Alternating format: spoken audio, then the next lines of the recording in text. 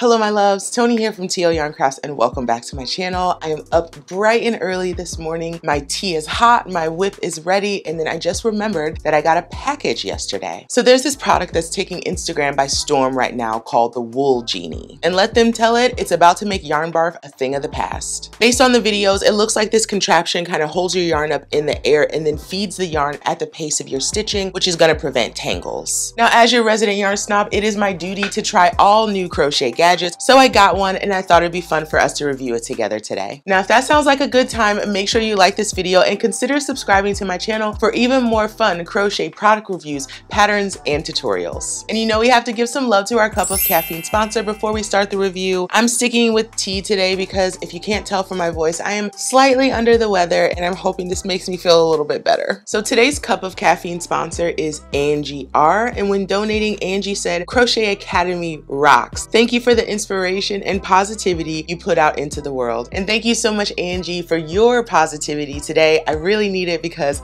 all I want to do is crawl back in the bed. Now, if you like my videos and want to support my channel, buy me a coffee. Who knows, I might shout you out in my next video. Now let's get to the review. I originally found out about the Wool Jeanie from my friend Emily, who is Hooked Hazel on Instagram. She put up a video essentially adding a ball of yarn to the Wool Jeanie and showing how it feeds the yarn into her project. I immediately Googled it and I came across what I think is the official website for the Wool Jeanie. So let's take a look together. So it's a relatively simple website. I love that right at the shop it says Wool Jeanie. There's a link to shop and then the products are right below it. All they offer is the actual Wool Jeanie and then some additional parts if you need them. The Wool Jeanie on their website is $25, which I think is a pretty reasonable price to try a product that you've never heard of before. I was able to find what I think are Wool Jeanies or perhaps knockoffs on other sites. On Etsy, I found one for $18.95. And then over on eBay, I found one for less than $3, but that can't be the official Wool Jeanie. I, I wouldn't think so. Below that, on the website, you have an instructional video, which I'm sure I'm gonna get really, really good use of. And since this is such a simple website, I mean, there's no reviews. Actually, hey friends, Toni here. So I'm actually editing the video right now. Turns out there are reviews for the Wool Jeanie on their website. So I thought it'd be fun to take a look at just a couple. So most of them are five stars. I love this Wool Jeanie. You don't have to keep pulling out more yarn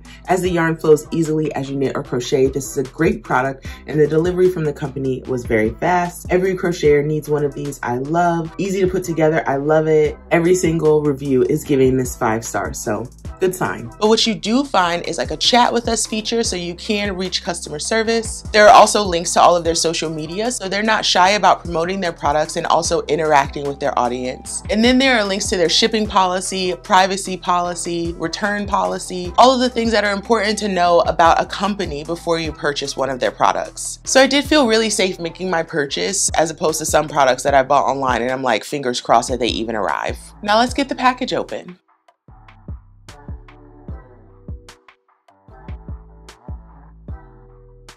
So initially right out of the package, I've got some pieces in bubble wrap and also a few little cards. One is a thank you for your purchase and please talk about us on Instagram. And then a thank you card, thanks for your purchase, supporting a small business. And there's a little coupon code on here if I wanna buy something else. It looks like everything is here. All right, we've got a metal bar, plastic pieces, what looks like a base, and couple of other things, and then a set of directions. I did pull up the instructional video. There's one on their site, so I'm gonna see if we can use that to put our wool jeanie together.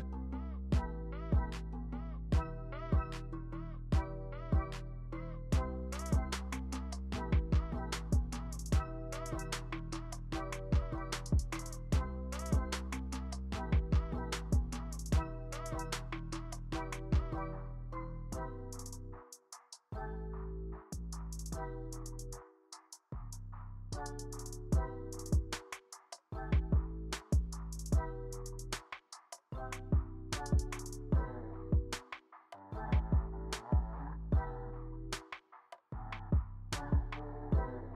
Now that I have it assembled, I can see kind of what the magic behind the Wool Jeanie is meant to be. So there is a large metal piece right here that retracts inside of this little spindle when you're not using it, but otherwise it connects to a metal plate here at the top of the actual arm. This allows this spindle piece to just kind of float freely. Since these are just magnets, it can twist at whatever pace it wants. There's no friction here, so it's not gonna go too fast or too slow. It's gonna go right at the pace of your stitching really great in concept and if this actually works, I could see this being something I use on a regular basis. Now that's not to say that products like this don't exist already. I have this right here. It's a yarn ball holder. So you put your yarn ball on there and it just kind of spins. It's kind of got that lazy Susan type technology. It absolutely works, but the trouble is if you don't hold it at the right level, the yarn can kind of sink under the ball and get stuck around this spindle and then it doesn't actually feed. But when you get that sweet spot, this is a fantastic tool. I love this one. It's handmade and it's a little on the pricey side, but it's definitely an heirloom. It's something that you buy and hold on to. The Wool Jeanie goes a step further because it's using a little bit of ingenuity to solve some of the issues that you might have with a product like this, but I do like that it's not electronic, so you don't have to worry about something failing on you. Now that we've got it all set up, I'm gonna get my yarn on it and give it a spin. So I pulled out my whip. I have it here. I'm working on just a corner to corner blanket for my niece. This is my first time trying this technique. And the fact that I didn't know it was so beautiful and so addictive is truly a crime.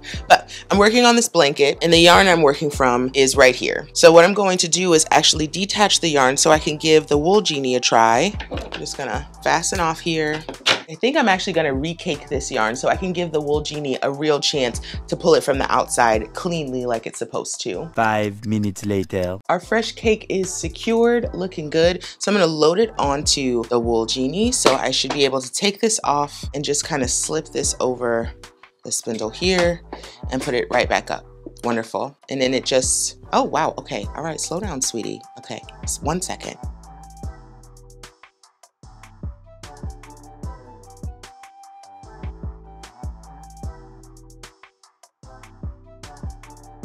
So what I'm noticing right off the bat is I am getting yarn at the pace that I need. Wool Jeanie is trying to figure out my pattern. So it's not pulling cleanly just yet, but it's also not giving me any tension. So as I tug the yarn away from the Wool Jeanie, it's coming to me as I need it, which is really wonderful. But I'm not left with like this long tail of yarn that could potentially mess up my tension. I do love that this product makes no noise. The connection between the metal plates is completely silent Oh, okay, maybe I spoke too soon, but it looks like if the yarn gets a little nutso like this, we have the potential for some little mini malfunctions. I think it might help if I was slightly further away perhaps, or maybe if the product was a little bit lower. It says to keep the product on level with your project. So that was my goal here, but I don't know, maybe just the way that I crochet this product doesn't really like because it's doing what it's supposed to be doing, but for some reason my style and this product are not jiving right now. Let's give it another, let's give it another go. We'll give it an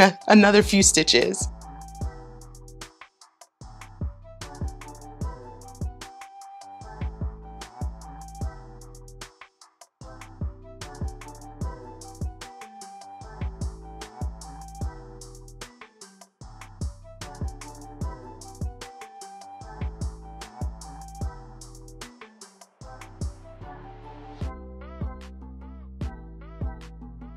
I've got a few stitches in here and I've got a first impression of how I feel about the Wool Jeanie. So we'll talk about that in just a second. But one thing that I do love is when I'm finished, I can just pop this right off, take my cake of yarn, put this all back in the project bag and I'm good to go for whenever I wanna pick up this whip again.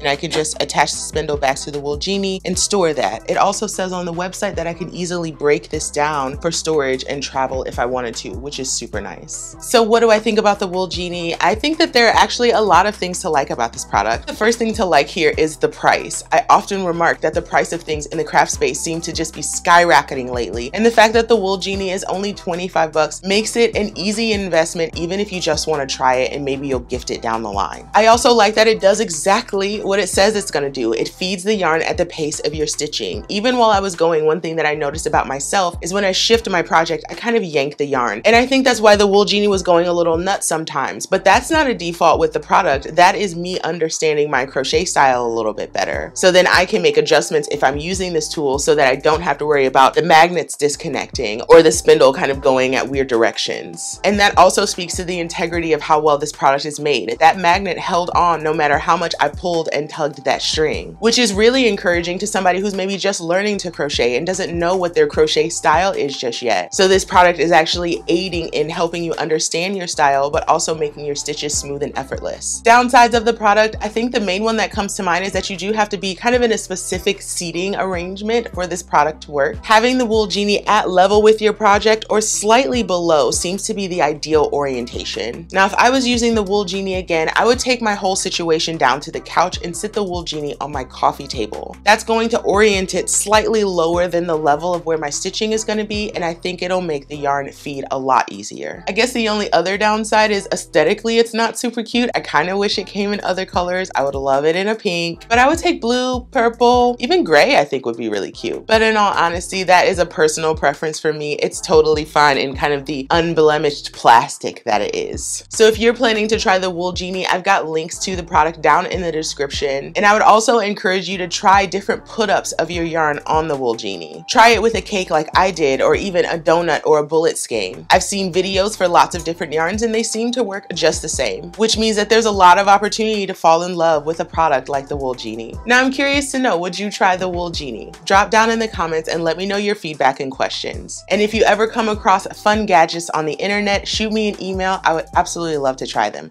Thanks so much for popping by and I'll see you in the next video. Bye.